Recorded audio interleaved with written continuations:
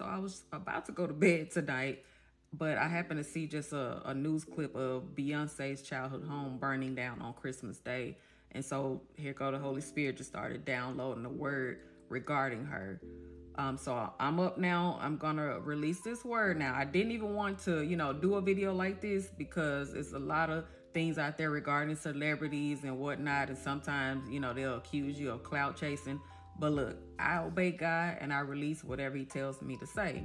So this is not coming from me, but the Spirit of the Lord is so amazing. And at times, you know, things can come off very far fetched or just plain weird or just won't make sense to the logical minds. But Beyonce childhood home burning down on Christmas Day will be the start of chain of events, you know, for her life. And some things are about to be unveiled in her life and she will need prayers like never before. Like I felt an urgency, a major check in the spirit.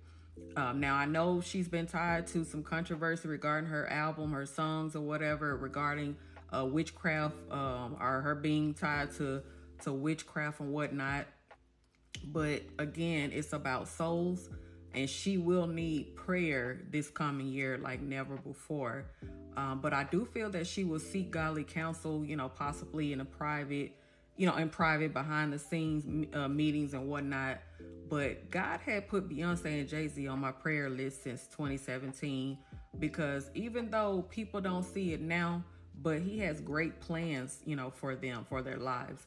Even if, uh, you know, they're doing living the secular, you know, living the sinful life or whatever it is, uh, God always, He's, He's, the man of change. So if he can change me, I know he can change millions and millions of others. So, um, but he has great plans for their lives. And if they choose, you know, the straight and narrow road to God, then he's gonna definitely use them in a major way. So be praying for uh, Beyonce and her family.